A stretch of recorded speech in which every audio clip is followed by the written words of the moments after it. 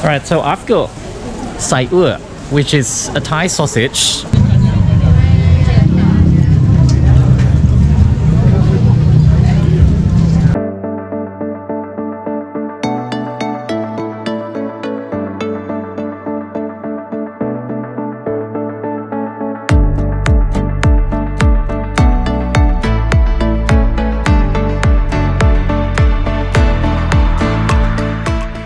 G'day everyone, Sawadee Krab and Sabai Di Rửa.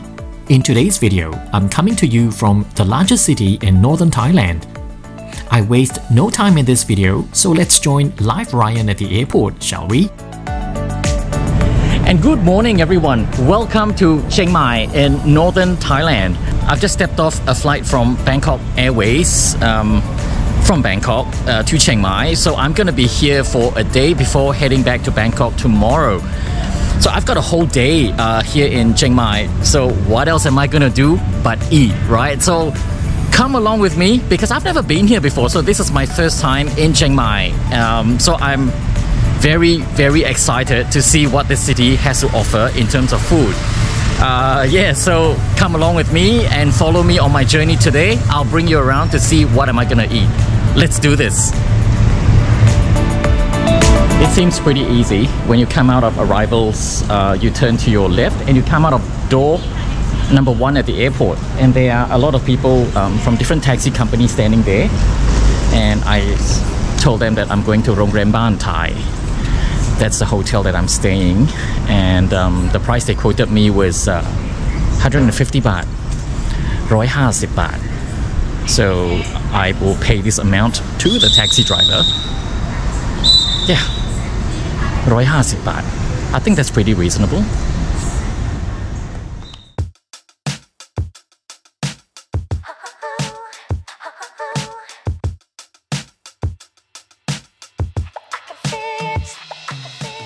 I'm literally so stoked to be in Chiang Mai, which is presently the largest city in northern Thailand. It's located about 700 kilometers north of the capital Bangkok, and as of 2022, has a population of just over 1.2 million residents.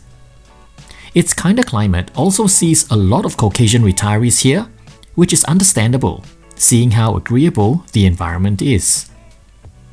This city is steeped in history, going as far back as the mid-13th century.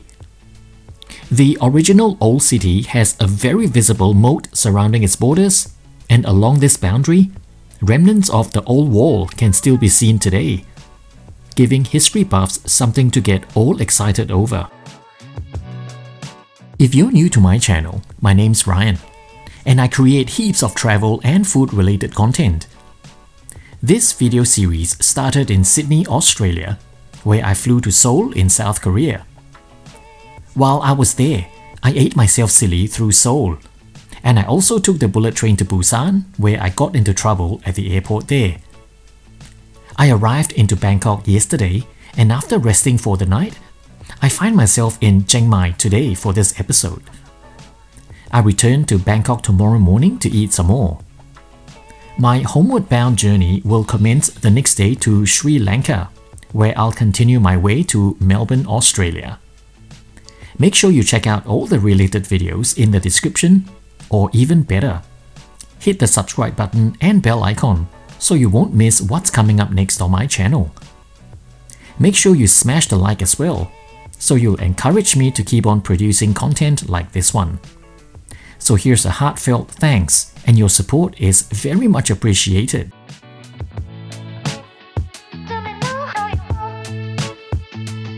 Alright, hotel check-in settled. Um, so now I'm gonna head towards uh, Warorot Market uh, to get something to eat. Of, I mean, uh, of course the room is not ready. I didn't expect it to be. Uh, I can come back at about 12 or 1, um, depending on how quick housekeeping is. So, uh, which is perfect. So uh, I shall walk to the market now, explore that place a bit, and then come back here um, once I'm done with the market. Yeah. I cannot wait. I am so excited to see what the market is like. So let's go find something to eat, yeah? Because I only had less than 24 hours in Chiang Mai, I needed to be very task oriented in what I was doing. So I chose the hotel to be within walking distance of places I needed to be. So this morning, we're headed to the area surrounding Talat Road or Warorot Market. I believe this will fill up our time very nicely for brunch. The area I'm in is really popular with both locals and tourists alike.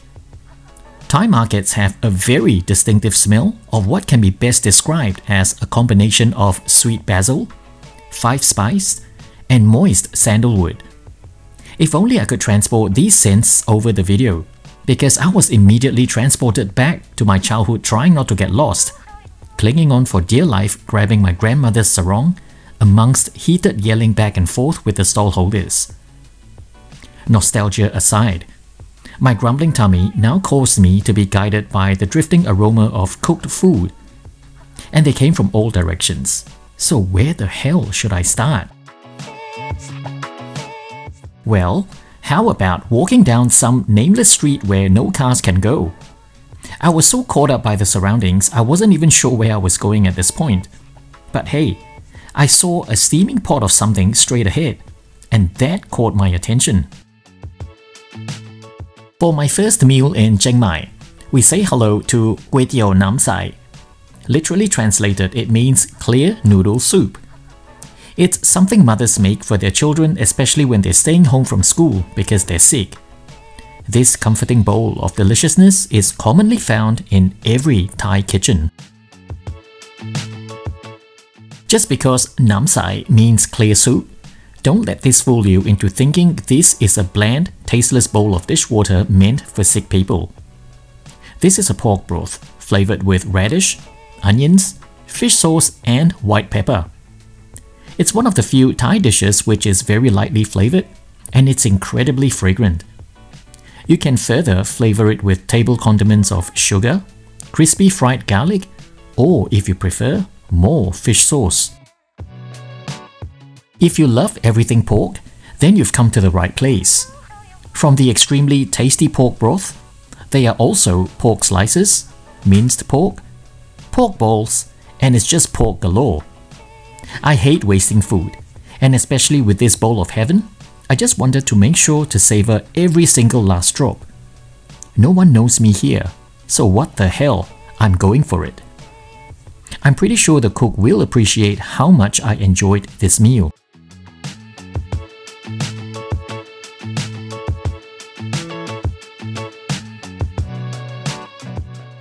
With that done, it's time to go in search of what's probably the only Thai drink I'll ever order whenever I come to Thailand.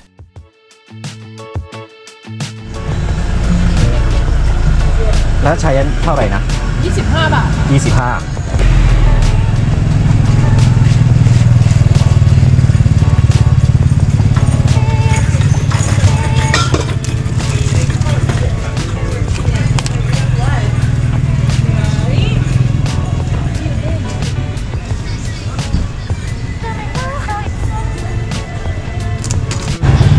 of the quintessential drinks I must always have when I come to Thailand is the milk tea. I mean, gosh, this is probably so bad for you, but it just tastes so good.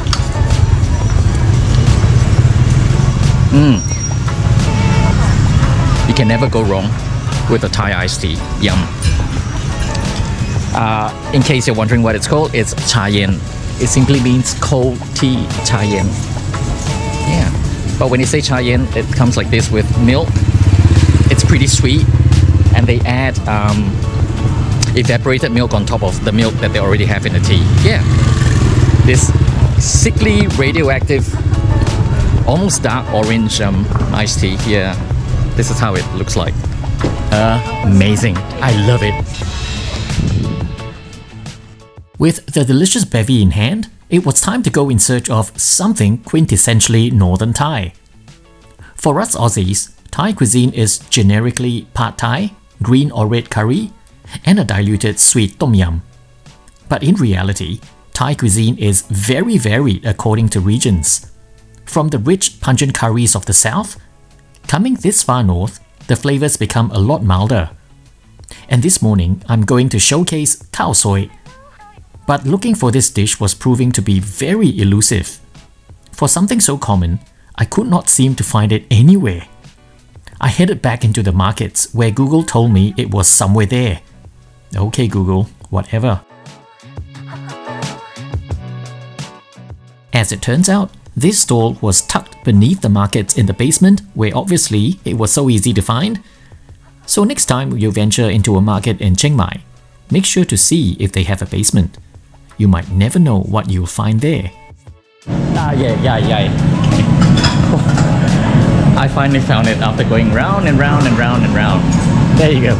Khao soi, the quintessential dish you have to try in northern Thailand.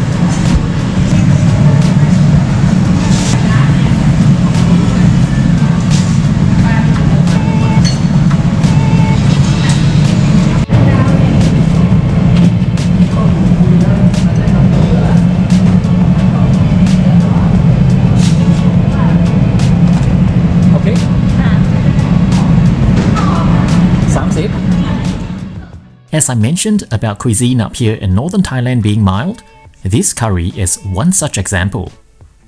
As this region of Thailand is close to Myanmar and Laos, various versions of this dish can also be found in those countries mentioned. This curry is almost thin like a soup, served with yellow egg noodles, crispy egg noodles, and side condiments of shallots, pickled mustard greens, and a slice of lemon or lime. The best way to describe how khao soi tastes like, it's like having curry as a soup. I detected a very strong underlying earthy aftertaste of coriander roots, and the coconut milk was a very light dash rather than rich, sickly thick. I really don't mind this. In fact, it tasted almost similar to a Cambodian soupy dish called banh chok. Perhaps they are related somehow? Because this was so light, it felt like I was eating air. I'm pretty sure I can smash another bowl of this delicious, tasty, fragrant khao soi. But I have to move on because, you know, I want to pace myself to eat something else somewhere out there.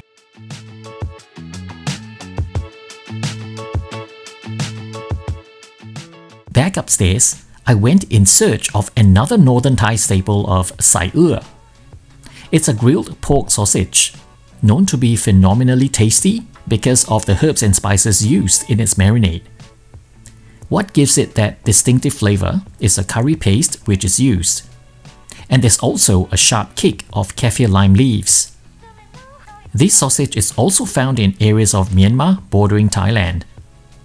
Since I just wanted a taste, I asked the stall owner to slice off a small portion of the sausage and had it cut further into smaller pieces. Because, contrary to what you guys think, I cannot stuff something that long into my mouth at one go.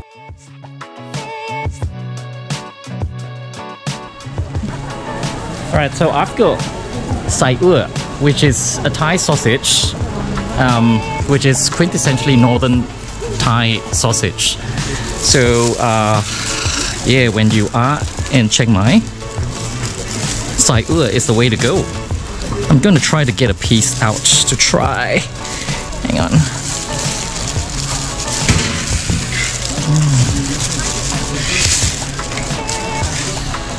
There you go.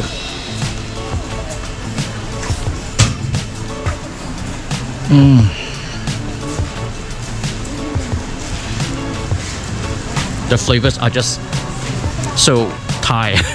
That's the best way to describe it.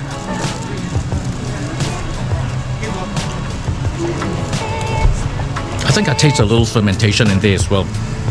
But anyway, the spices, the flavors, all come together. And there is this explosion of flavor in my mouth. This is incredible. Mm.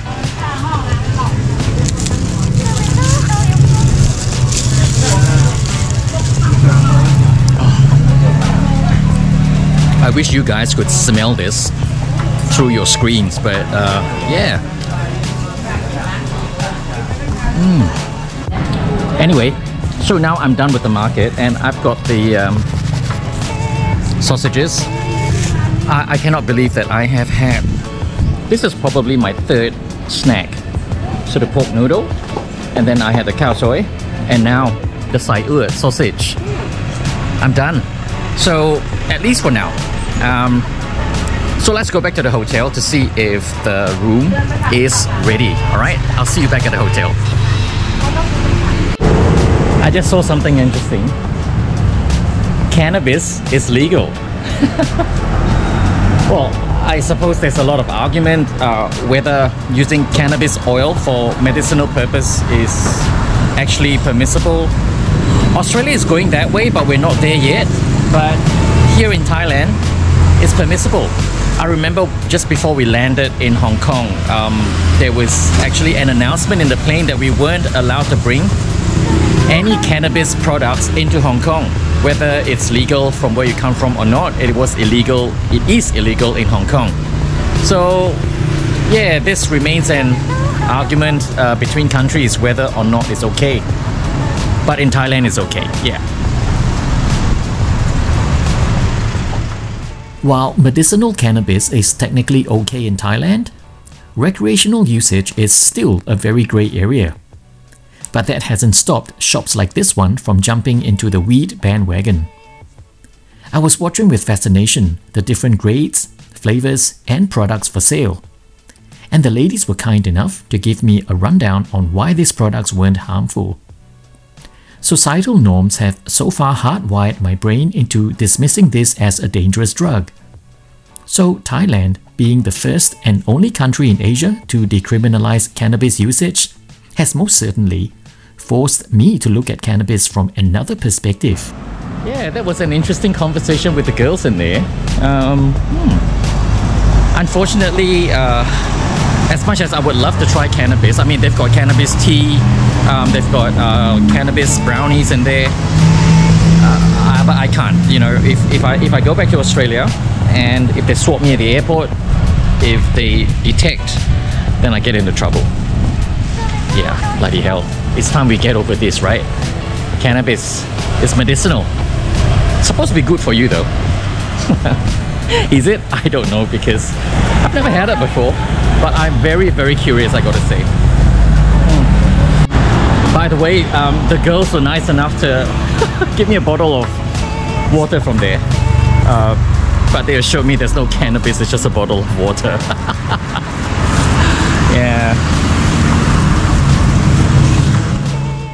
Not only was the room ready, thought the opportunity was ripe for me to take a dip in the pool right outside my room. This footage is part of hotel review I'm doing. But instead of being refreshed, I got lulled into what I thought was a mini afternoon nap.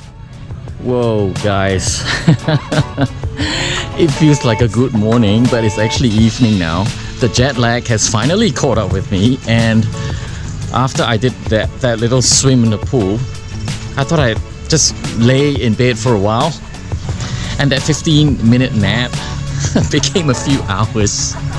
So man, I mean, I just got up now and yeah, wasted a few hours in bed when I could have been out walking around. But anyway, um, this shows just how exhausted I am from all the traveling for the last few days because I haven't stopped. It's been constant. Yeah. And every day I wake up and I'm up and about in the morning and for the next few days, um, all my flights are early morning flights, and my stops at every destination is only an overnight stop. So it's going to be pretty intense uh, for the next few days until I get to Sri Lanka. Yeah, so tonight, um, I thought we go to the night bazaar to see what's going on there, um, grab some dinner, and I'd like to check out a couple of gay bars as well. Of course, the gay scene in Chiang Mai is uh, not as vibrant as Bangkok. This is, after all, a very much smaller city, and yeah, be. Uh, it's interest. It'll be interesting to see how um, the gay scene is like here. Yeah. So um, dinner, and maybe get a foot massage after that, and then we'll check out the gay bars. All right, let's go. I, I guess this is it though. Um, Ruedee night market. So I mean it's a bit touristy because all the all the local markets are shut at this time of the evening. So I suppose we have no choice but to come to a touristy place like this if we want to experience markets. And uh, yeah, let's um, take a walk in there because I'm actually quite hungry. So I want to go in there to um, get something to eat, get my dinner sorted, and then um, we'll just move on from there, yeah? Ploen Ruedee Night Market, being located at the heart of the tourist district in Chiang Mai, allows everyone to sample staple Thai street food at a very comfortable and relaxed environment. For the uninitiated, Thai food can be very intense and might cause the unsuspecting to implode from within because of the spices used. So for this group of tourists, there are stalls selling pizza, buffalo wings, and barbecue steaks. So there's literally something for everyone. And together with a live band, really adds to this festive atmosphere. Alright, so this is the kind of prices we're dealing with, right? When I had my khao soi uh, this morning, it was 30 baht. And a khao soi here is 80. Yeah, so you're definitely paying tourist prices here. Yeah. I'm here now, so I needed to make it work. I wanted to show you guys cuisine which can't be found in Aussie Thai restaurants. So heaven forbid should I be ordering another serve of pad thai or red curry. So let's forget Kath and Kim for a minute, leave Fountain Lakes Mall behind, and step out of the suburban takeaway stalls, shall we?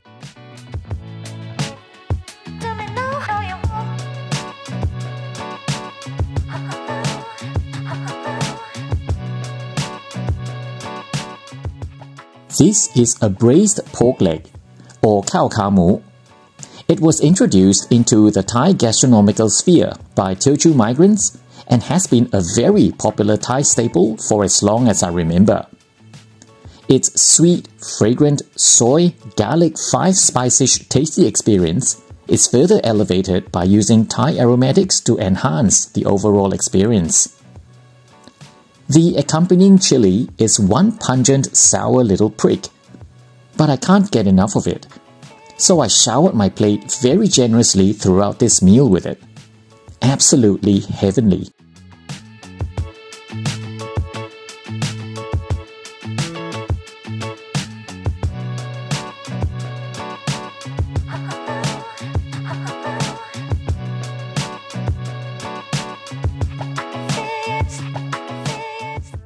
This next dish is bla pao, which is a salt-crusted tilapia fish slow grilled over charcoal. The result is this absolutely flavorful fish which is still incredibly moist inside. Grilled whole fish is definitely the way to go, especially when the flesh inside has been kept very succulent throughout the grilling process. This fish comes with its own dipping sauce, which is made from pounding garlic, red and green bird's eye chili, which gives it this distinctive looking algae green color. It's further mixed with fish sauce, lime juice, and lots of sugar.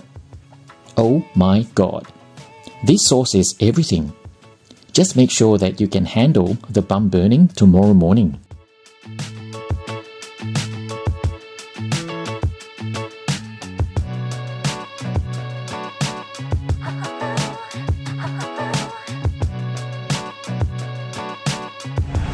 Yeah, so that is the cabaret show that I wanted to go to. Um, Six Quid Show, um, the bar behind me. Uh, it is just after 6 now and the show starts at 9.30. But I'm not sure if I can stay awake because I'm seriously so exhausted from today. Well, from the from the last few days actually. And tomorrow I've got an early pickup, um, taxi pickup at 5.30 in the morning. So maybe next time I'll spend a few more days here in Chiang Mai and then I can properly uh, enjoy uh, what this town has to offer here. But otherwise, uh, I don't think I can stay awake for uh, that show at 9.30. So yeah, I mean, at least now I know where the gay bar is and uh, until the next time, I suppose. Mm.